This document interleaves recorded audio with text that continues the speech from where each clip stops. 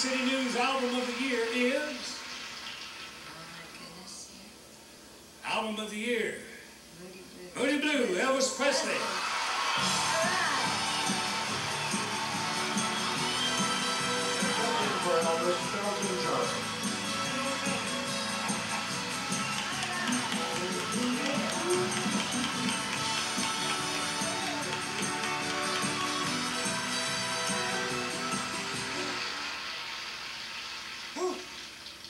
I'd like to thank all the fans on behalf of Elvis and the Colonel and RCA Records and myself, and I'd like to say one thing.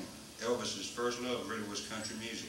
From Blue Moon of Kentucky right on down to everything.